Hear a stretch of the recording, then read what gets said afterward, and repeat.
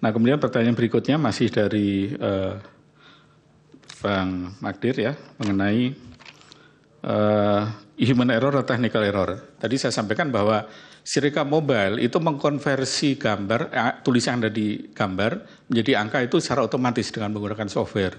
Tidak ada manusia yang mengkonversi di sana. Beda dengan situng dulu. Kalau situng dulu memang di entry oleh manusia. Sehingga eh, saya, menurut saya itu technical error, sangat-sangat technical error. Kecuali kalau form C1 yang tadi menjadi C1 hasil adalah dokumen otentik, itu yang dirubah. Jadi kalau dokumen otentiknya tidak sama, Eh, dengan hasil yang kenyataannya baru itu namanya ada fraud yang dilakukan oleh KPPS misalnya. Tapi kan selama ini tidak pernah ada eh, apa sanggahan bahwa hasil perhitungan suara di level TPS itu eh, berbeda dengan kenyataan begitu.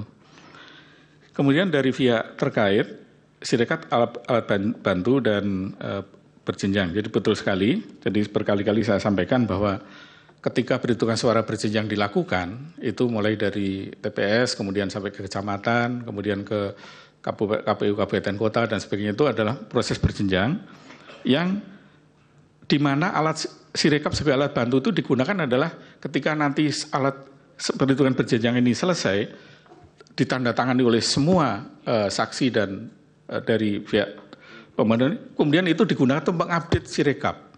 Jadi Sirekapnya juga ikut berjenjang jadinya sebetulnya secara tidak langsung koreksinya ikut berjenjang juga. Di samping memang koreksi yang langsung dilakukan oleh KPU juga ada koreksi berjenjang dari bawah juga. Karena dan yang kedua adalah jangan lupa di sana juga di Sirekap itu selain form C1 hasil ada form D yang selama ini saya belum pernah dengar dari uh, dalam sidang ini dibuka. Padahal form D itu adalah hasilnya tadi re, uh, kesimpulannya rekapnya seperti apa. Nah kalau di form D-nya berbeda dengan C1 baru dikatakan di situ bisa ada manipulasi misalnya. Kemudian eh, Sirikap menjadi alat untuk fraud. Wah ini sadis banget. Jadi seperti saya sampaikan, Sirekap itu hanya software aja, tidak bisa digunakan untuk merubah suara, nggak bisa.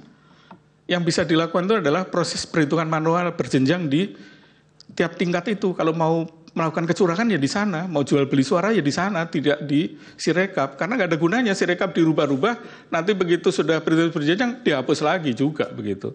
Jadi uh, ini yang harus mungkin kita pahami semua.